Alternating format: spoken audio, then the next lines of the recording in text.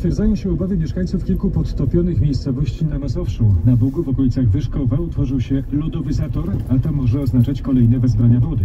Na linii reporter RMFFM Mateusz Chłystun, który jest w Młynarzach. Tam rzeka podtopiła kilkanaście domów. Mateuszu, jakie znaczenie ma wspomniany zator?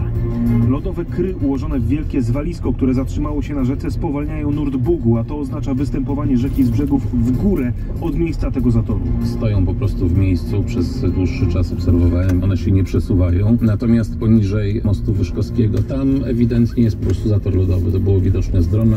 Tłumaczył mi przyrodnik Marcin Jaskórski z Fundacji Zdrowie Natura i ja, który z drona obserwuje sytuację na Bugu i kilku okolicznych rozlewiskach. Jego zdaniem lodowy zator mógł dosłownie przykleić się do dna płytkiej rzeki.